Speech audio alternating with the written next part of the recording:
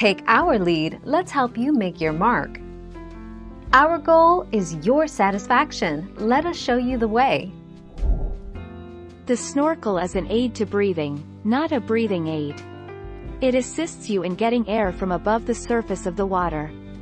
It does not possess any breathing advantages. The average person can hold their breath for between 45 seconds to 2 minutes depending upon their level of fitness.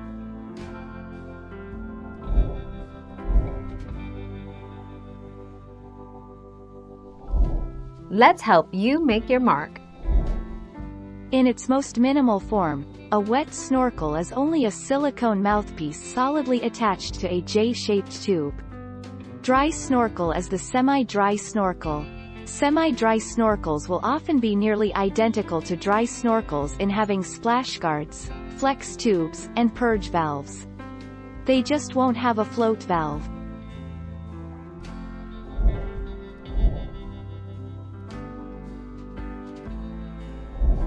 Make your mark, take our lead. The point of a snorkel is to give you a constant supply of fresh air while you swim. It's a pretty important function if you value being able to breathe. The snorkel top sits above the water allowing you to breathe air through the mouthpiece under the water.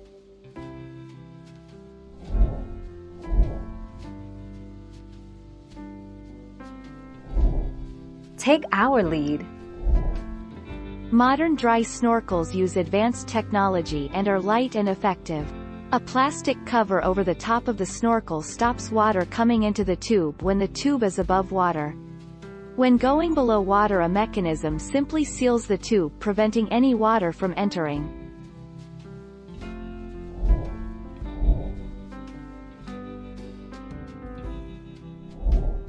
Take our lead.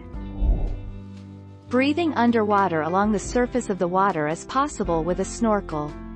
The snorkel is a tube that attaches to your mouth and loops around past your face, pointing upwards to the surface.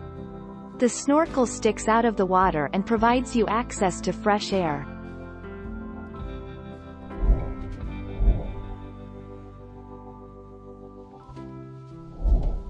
Take our lead. Snorkeling masks will typically last 3 to 5 years if used frequently. They may last up to 10 years when in dark and dry storage, but sun, sand and saltwater result in deterioration of the silicone around the face skirt when used often.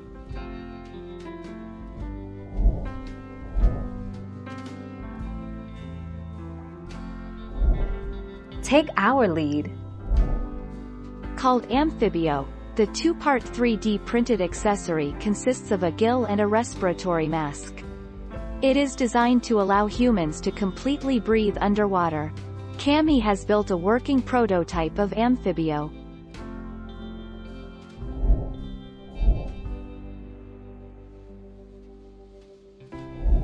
Let's help you make your mark. Pride of Maui recently banned full face masks from its snorkel tours, citing the potential dangers of carbon dioxide buildup leading to dizziness, headaches or unconsciousness. The company says on its website that this can also happen with poorly designed standard snorkel tubes. Thank you for watching. Please subscribe and hit the bell notification.